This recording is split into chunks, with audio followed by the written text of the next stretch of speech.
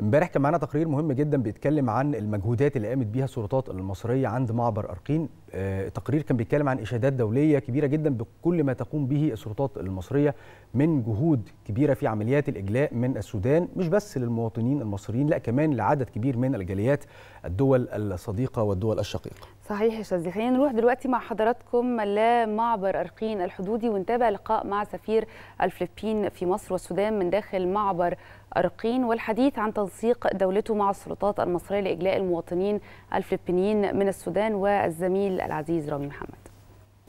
تحياتي لكم ولكل متابعينا من معبر أرقين البري الحدودي الذي يربط بين مصر والسودان مع استمرار عملية إجلاء المواطنين المصريين والسودانيين وأصحاب الجنسيات الأخرى. نتحدث عن أكثر من خمسين جنسية لخمسين دولة وست منظمات تم إجلاء الرعاية الخاصة بهم.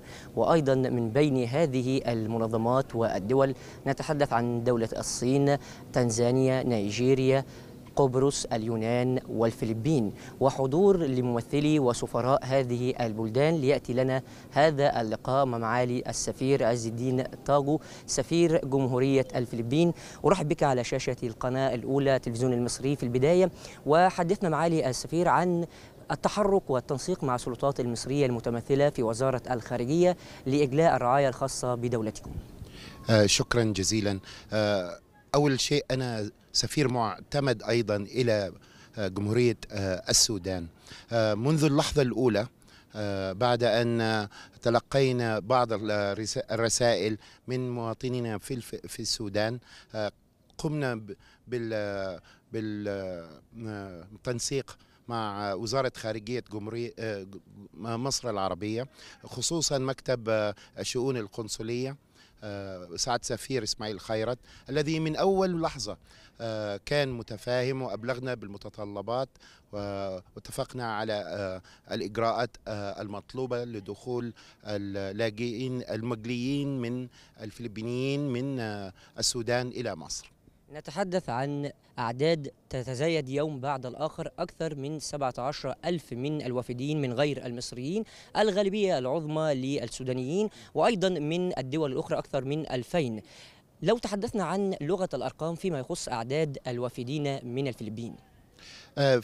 يوجد هناك من من البداية حصدنا حوالي 815 فلبيني في السودان.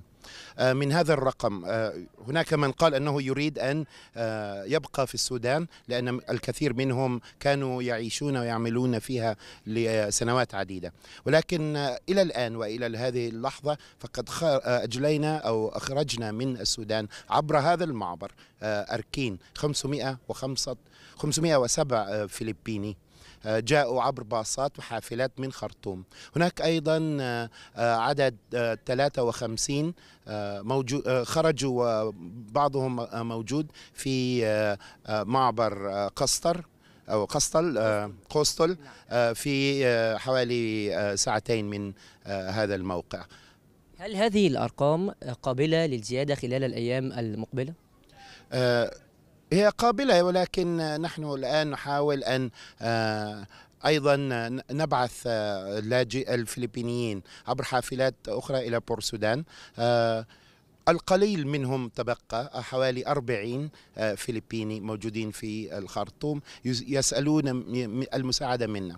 وزارة الخارجية المصرية وضعت وخصصت أكثر من موقع للتجمع سواء الإجلاء البحري من بور سودان أو أيضا الإجلاء البري عبر معبري قسطل وأرقين لو تحدثنا عن الإجلاء البري من هذين المعبرين تم وجود العديد من المساعدات الإنسانية واللوجستية وأيضا دور كبير للهلال الأحمر المصري وهيئة الإسعاف المصرية. حدثنا عن هذه المساعدات سواء اللوجستية والإنسانية والطبية للمواطنين الفلبيين بصراحة أول شيء نشيد به بدور الحكومة المصرية أنهم قبلوا بالفلبينيين يدخلوا دخلوا أرض آمنة دي مصر طبعا فإحنا سعداء بهذا أولا.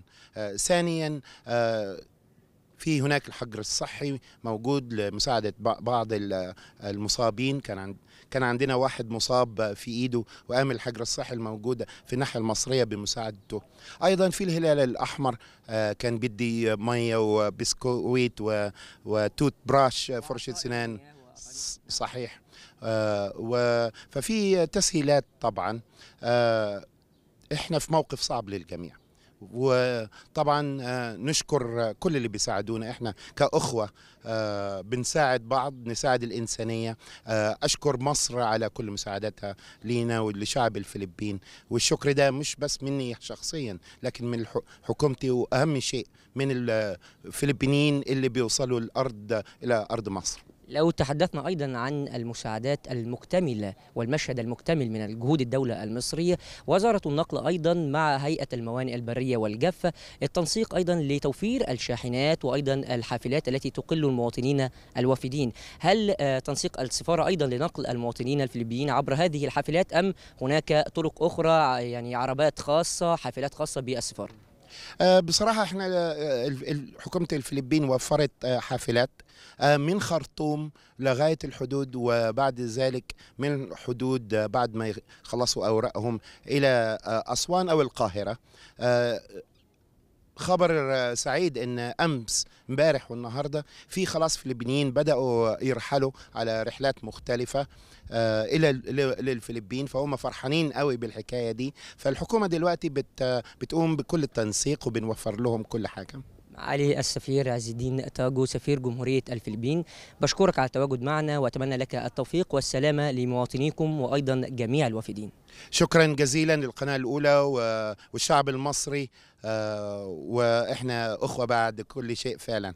أشكرك جزيلا. يمكن هذا المشهد الذي نتحدث عنه الآن من داخل معبر أرقين البري استمرار لتوافد الكثيرين سواء من المصريين وأيضا من أصحاب الجنسيات الأخرى ويستمر معها أيضا المساعدات اللوجستية والإنسانية والطبية من قبل وزارة الصحة المصرية والهلال الأحمر المصري وهيئة الإسعاف المصرية.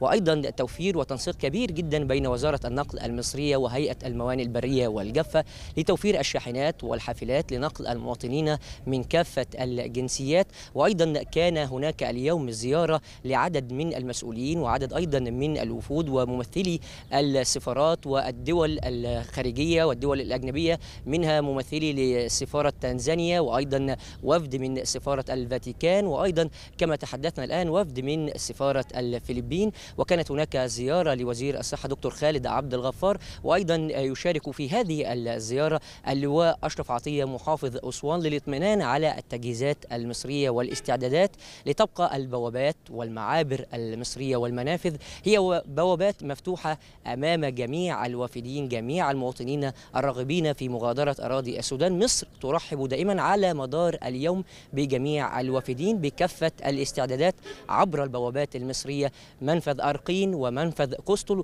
وأيضا الإجلاء البحري عبر آه، ميناء بورت السودان عودة إليكم مرة أخرى. هذا هو المشهد وإليكم الكلمة.